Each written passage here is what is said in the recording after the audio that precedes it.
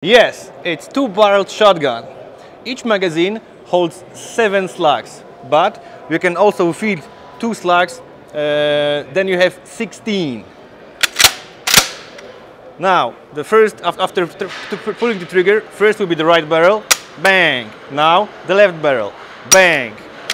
Of course, now it would eject shell casings from the back and feed another two. Still, one, two. Imagine yourself in zombie apocalypse with that little baby. It's not that heavy as you can see. I'm a rather weak guy. I hope somebody will make a replica, airsoft replica of it. I would buy it for any price.